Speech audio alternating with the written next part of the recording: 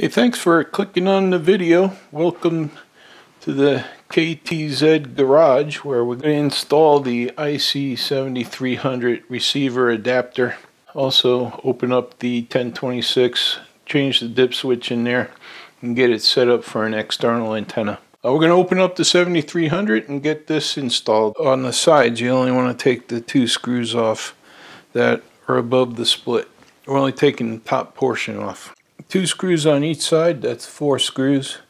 And we're going to take out every screw on the top. It's 14 screws total.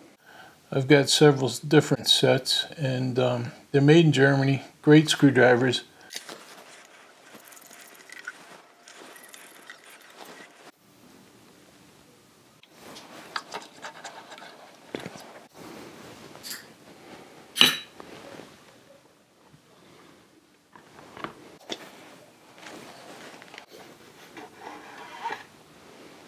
This is the tuner uh, control, so I want to keep this uh, so I can use a tuner, but I'm going to have to dr either drill a hole or use a Dremel or something to give this cabling some relief in the back. Remove this temporarily. You just have to pull it some of the adapters on the market come with RCA connections. I searched around and I found this one. It's got the SMA ends on it, so it'd be easier for me to convert that over to BNC. I have these adapters to go into the 1026. I had this out earlier and uh, I put the BNC adapters on the SMA ends. This is the RX 7300 SMA adapter. Okay. So this will go in that slot. You'll see that in front of this cable there's a indication that that is the receive.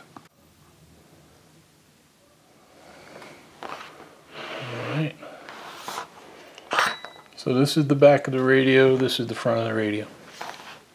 We'll pull the receive wire out. You want to pull it straight out, but you want to grasp it from, not from the wire, but from the connector. Insert that into this adapter.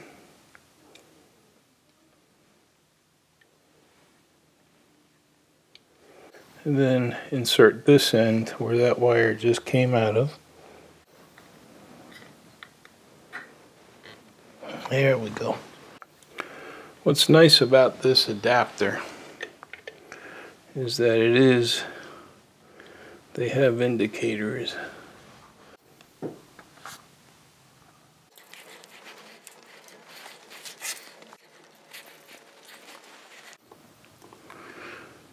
So I discovered Steve Ellington's channel. So I want to give a shout out to him and thank him for the work he did on his channel about this uh, receiver mod. Now the MFJ 1026.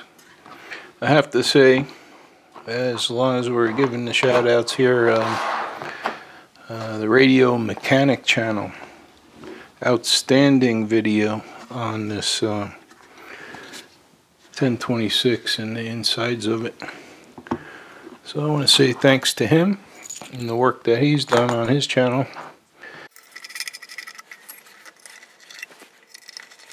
I hope I didn't get the same guy assembling this one that, that he did.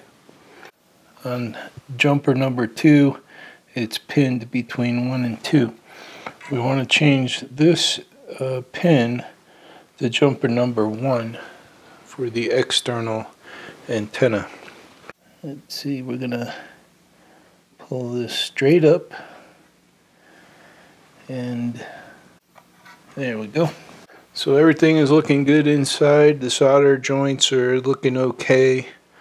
Um, Here's the relay, which uh, in theory, the uh, receive only mod that we did to the 7300 will bypass this relay. So let's get the cover back on and try it out. Uh, a lot of people have uh, their opinions on MFJ. This doesn't look like it's put together all that bad. The auxiliary antenna is the sensing antenna. Now, the main antenna in radio, that's where these come into play. SMA to PL259. These are BNC to SMA. I'll have a parts list down in the comments section. That's what it looks like. That will enable me to use these BNC jumper cables. That'll go to the 7300 BNC connectors there. Okay folks, I just want to be clear on how I'm connecting the 1026 to the 7300. So I've marked the 1026 here and the 7300. We're going from the main antenna input to the output on the 7300 and we're going from the radio uh, port which is the output to the input on the 7300 a little bit of a hump there um, from this adapter. I have it seated in there properly. It's just a just a skosh too too big. Not a big deal as far as I'm concerned. Let's test this thing and see how it does Okay, so here we are, uh, 40 meters, and uh, this is with the unit off. And um, I discovered after a lot of testing with the knobs and phasing and antenna gain that reducing the main antenna gain is counterproductive to pulling out the weak signals, but uh, most of the adjustments are with the auxiliary antenna and the phase uh, adjustment. So this is with the unit off and this is with it on. Now I am having trouble getting this area to phase or null the noise out within the 7 megahertz. So this is uh, roughly 6 megahertz down here, 6 and under. So uh, I think more antenna testing is or in order, but you can see that it is functioning. Testing out the rig here, uh, 7300 in the shack. Uh, looks like I'm running a little bit too much compression, but um, I got a good copy on you down here in Colorado, about five eight. Uh, yeah, peaking about five eight down here. Over. Yeah, copy that. Um, you're doing real good. You know, your signal sounds all right. Uh, you're pushing a five nine on its up. So um, up here in North Idaho. So uh, you're, you're running good this morning. All right, well, appreciate that, North Idaho. Uh, so, yep, uh, down here just north of Denver. So, um, uh, little town called Broomfield, and uh, just setting up the shack here, uh, trying to reduce the noise from the big city over. Um, say again, did you say Broomfield? Roger, Roger. Well, I'll be dog. Uh, I used to live in uh, a town just south of there. Um, Then it starts with a T, right next to Broomfield. Okay, yeah, so uh, it sounds like the Thornton area. Thornton, is that it? Roger, Roger. Thornton it is. Well, back in the day, there used to be a lot of pheasant hunting in this area, and uh, yeah, out there in Thornton as well. But that's going back years and years ago. Boy, things sure did develop up here. When I moved to this place, it was a two two lane road and a stop sign. Now it's uh, it's about eight lane highway. Over. This is for the shack here, down in the suburbs.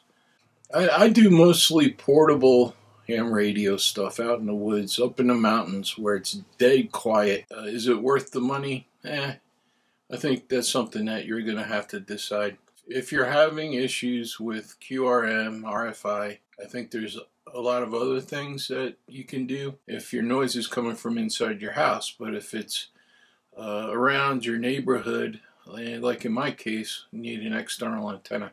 Now, the external antenna that I installed uh, could be better. Uh, the ham stick uh, has a very narrow bandwidth, so by adjusting the 1026, I'm only getting a very small portion of the band that I can work with.